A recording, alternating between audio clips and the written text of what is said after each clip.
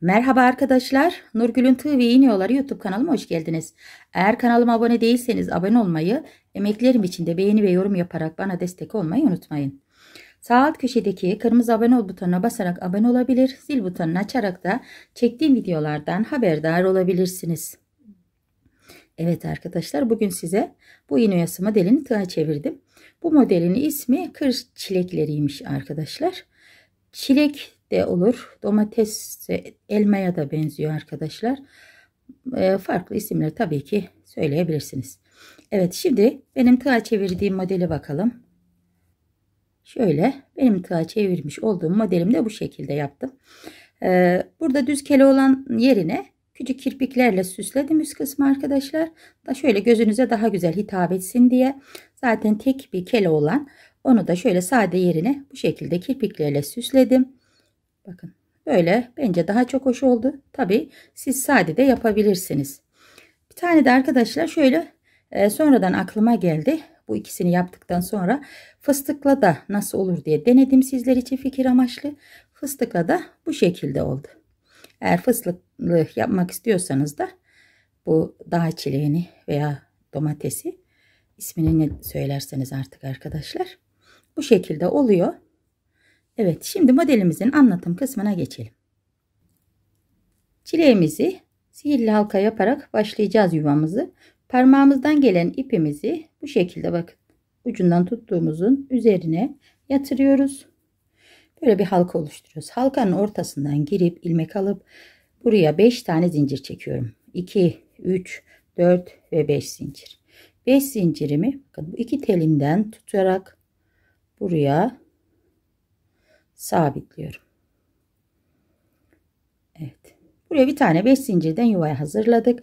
Dibine şöyle bir tane zincir çekiyorum ki otursun sık iğnemiz. Şöyle biraz sıktırdık bakın. Yuvamızı bu şekilde sıktırdık. Ters tarafından çeviriyorum. Yuvamız şöyle ipimizi biraz uzatalım arkadaşlar. 3 zincir boyutunda ipinizi uzatın. Bu e, yuvanın içine şöyle tam ortalama boyutunda sık iğne ile sabitleyin. Bakın kenardan ipimizi uzattık. Buraya kele olan yapacağız. 5 zincir çekerek başlayalım. İlk yuvamızın yapımına. 5 zincirimi bu ortadaki bakın buraya yaptığımız 5 zincirli yuvanın içine 5 zincirimizi sabitledik. 10 tane zincir çekiyorum. 5 6, 7, 8, 9, 10. Bu 5 zincirli yuvanın üzerine 10 zincirimizi şöyle ters tarafına dönüp bakın buraya ilk yaptığımız sihirli halka ile yaptığımız 5 zincirli yuvanın içine sabitliyorum. Bu kadar arkadaşlar. Şimdi aynı yere tekrar bir tane daha sık iğne yapalım ki biraz şöyle e, ileri bir mesafe atlayalım. Bu şekil yaparsanız arkadaşlar bu taktiği uygularsanız kele olanınız daha düzgün duruyor. Bakın zinciri kapattıktan sonra yanına bir sık iğne 17 tane. Buranın alışı 15 yerine 15 tam oturuyor arkadaşlar. 17 de biraz mesafe olmuş oluyor. Daha güzel duruyor. Beşer beşer artırmıştım sizler için. 5, 6, 7, 8, 9, 10, 11, 12, 13, 14, 15, 16 ve 17. Çeviriyorum. Şöyle bakın. Bu üçüncü zincirimiz. Böyle buraya bir yuvalak yapıyoruz.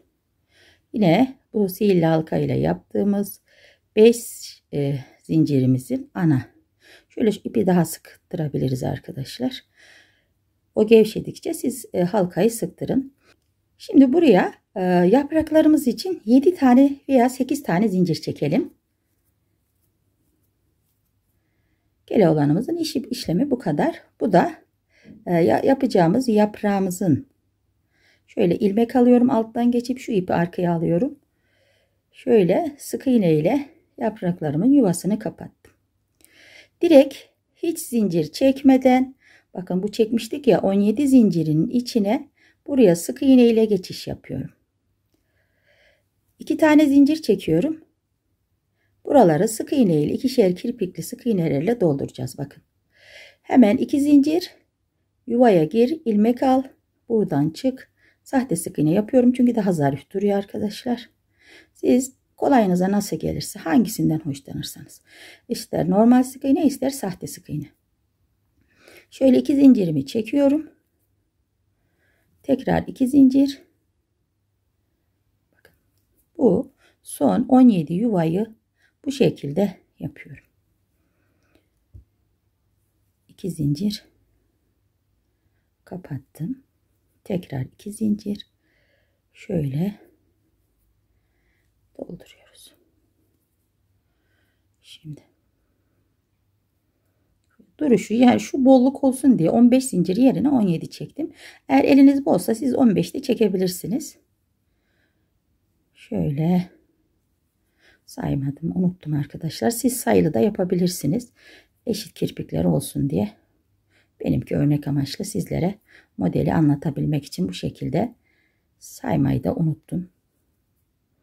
Evet. En son bu. Hani yapraklar için yaptığımız 7 zincir var ya onun da içine bir tane sahte sık iğne yapıyorum. Ve ipimi uzun bırakıyorum. Bu ipimi koparmıyorum arkadaşlar. Yaprağımızın arasında gezdireceğiz. Lakin şunu hemen koparıp yakacağız. Bu sihir halkanın ipini hemen koparıp yakalım. En dibinden sağlamlaştı çünkü üzerine. Evet şimdi yeşil ipimi alıp hemen geliyorum. Bakın çok güzel oldu arkadaşlar kele olanımız. Evet bakın bu yaptığımız 7 zincirin e, arasına sık iğne ile ipimi sabitliyorum. Bu koparmış olduğumuz ipi de arada yaprakların arasında götürebilirsiniz arkadaşlar. İki zincirimi çektim. Bir defa doluyorum. Şöyle 2 2 minik bir yaprak yapacağız. Şöyle iki tane zincirimle beraber trabzanım oldu. Bir defa yine dolayıp 1 2 2 Sadece yaprağımız 3 trabzandan oluşuyor bu şekilde. 2 defa doluyorum. Yine şöyle 1 2 2 2 alarak sık iğne ile böyle bir trabzan yaptım. 3 zincir çektim. Son yaptığım bu trabzanı sık iğne ile dolduracağız. Bu ilk tomurcu. Buraya 4 tane arkadaşlar sık iğne yapıyorum. 1 3 de olabilir. Ne kadar alırsa yaprağınız. Şunu arkada rahat çalışalım. 2 3 ve 4 Beşinciyi de bu kırmızı yuvaya sabitliyorum. Tekrar iki zincir çekiyorum. Bakın yaprağımızın birisi hazır. Aynısından bir tane daha yapıyorum. Bu 7 zincirli kırmızı yuvaya 2 2 alarak bakın. 2 tane trabzan. Bir defa doluyorum. 1 2 2. Evet 3 tane trabzanı yaptık. Yine 2 defa doluyorum. Son sık iğne için trabzan yapıyorum. 1 2 2 ve 2 alarak 4 seferde son trabzanımı da bu şekilde yaparak yaprağımızı bitireceğiz. 3 zincir geri kalan kısma da 4 sık iğne. Şöyle 1 2 3 ve 4 4 tane sık iğnemi yaptım. 5. sık iğnemi yine kırmızı yuvada yapıyorum. Bu şekilde bakın. ikinci yaprağı da bitirdik. İpimi koparıyorum. Hemen şöyle arka tarafından ilmek alarak çekeceğim arkadaşlar. Şuradan iki ilmek alıp çekip ipimi arkada yakacağım. Tığ battılarımızı ikişer zincir çekerek hazırladık. Şöyle ee, buraya 7 tane tığ battı mesafesi bırakıyoruz. 5 tanesini yaptık. Daha önce hazırladım sizler için. Tığ battığımızın içine sık iğne ile sabitledik. İlk başlarken de aynen bu şekilde. 3 zincir çekip 7 tane tığ battı. 3 zincirimi çekip 7 tane tığ battı. Bu şekilde 7 tane tığ battım hazır. Bir defa doladım. Yuvaya girip 1, 2 ve 2. 3 tane trabzan yapıyorum. 2 zincirimi çektim. Bir defa doladım. Hemen trabzanın arasına giriyorum. 2 2 olarak aldım. Bir defa tığımı doladım. Trabzanın arasına girip şöyle 3 seferde. Bakın 3 tane trabzan oldu. Şöyle dibine bir tane zincir çekiyorum. Bu yaptığımız şöyle şimdi arkadaşlar bu iki yaprağın tam ortası var ya burası düşmese olmaz. Şöyle bakın tutuyorum. Tam ortasındaki bu ana yuvadan iki yeşil yaprağın arasından girip şöyle bir tane ilmek çıkarıp buraya e, yaptığım trabzanın ucuna kapatıyorum. Bakın bu şekilde tam ortasından girdim arkadaşlar. Yine bir zincirle şöyle dibine oturtuyorum. Bakın bu şekilde de yapabilirsiniz. Ee, şöyle onu da göstereyim arkadaşlar. İpi bir ilk önce uzatalım ilmeğimizi. Bu şekilde de yapabilirsiniz. Her iki çeşit de göstereyim size. Şöyle trabzanımıza bitirdik. Ee, fıstıkla karıştırmayayım. Şöyle bakın tam ortasından giriyoruz. Sonra da ilmeğimizi tutup bunu buradan geçiriyoruz. İki şekilde de yapabilirsiniz arkadaşlar bakın. Buraya sık iğne ile sabitledim. Tam iki yaprağın ortasında. Bu geçiş yerinden tutturdum. Bunu da şöyle bakın şu, şu mesafeyi ayarlayın arkadaşlar. Fazla gerdirmeyin. Şu tepe noktasına. Yine bir zincirle bir oturtturalım bu sık iğnemizi. Şöyle trabzanımızın arasından girip bu şekilde sabitliyorum. Bakın. Ve yine 3 tane zincir çekiyorum. 3 zincirimi trabzanıma kapattım. Sabitledim. Yine 3 zincir çekiyorum. Tığ battımın içine sık iğne ile sabitliyorum. Evet. 1, 2, 3. Aynı şekilde şöyle 7 tane tığ battı mesafesi vereceğiz. Bakın arkadaşlar tutturması da kolay.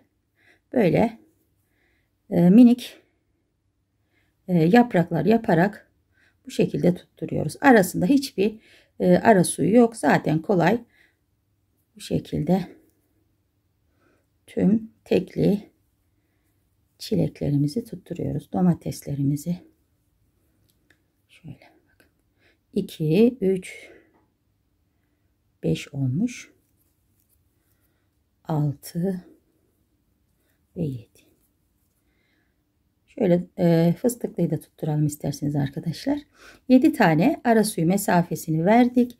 Hemen bir defa tığımızı dolayıp trabzana giriyorum. 2 şey pardon 3 seferde şöyle biraz